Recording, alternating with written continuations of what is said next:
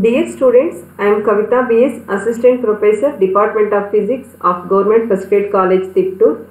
In this class, I will explain the determination of atomicity of triatomic gas molecules.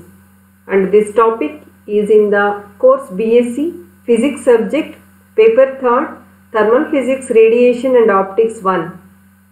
And this topic is in the lesson Thermal Physics of Unit 1. Let us start the session.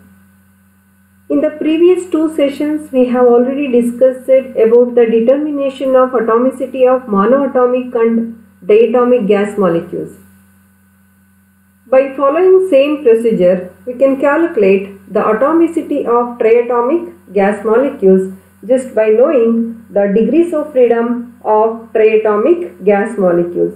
Here, I am considering a tri- triatomic gas molecule with uh, 6 degrees of freedom. Then, according to law of equipartition of energy, the energy associated with each degree of freedom is equal to half kT.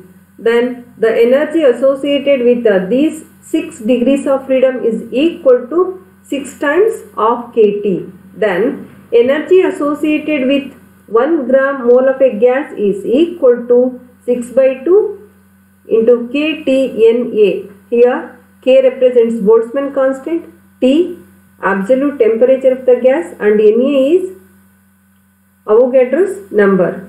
Then by substituting in place of K into Na by R that is the product of Boltzmann constant and Avogadro's number gives universal gas constant that is R then we get energy associated with 1 gram mole of a gas is equal to 3 RT. Then it is represented by the letter U then that is equal to 3 RT. By differentiating this with respect to T we get du is equal to 3R into dt. By rearranging the term we get du by dt is equal to 3R. Here the term du by dt represents CV value of triatomic gas. That is specific heat capacity at constant volume.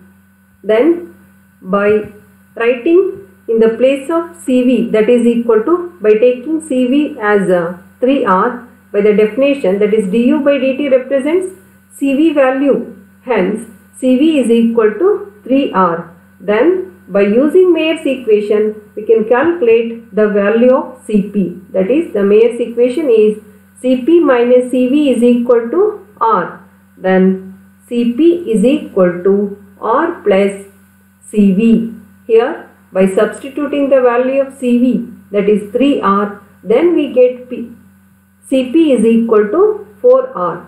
Then, by taking the ratio of Cp to Cv and its value is 1.33. Then this value represents the atomicity of triatomic gas molecule which is nonlinear and it has 6 degrees of freedom.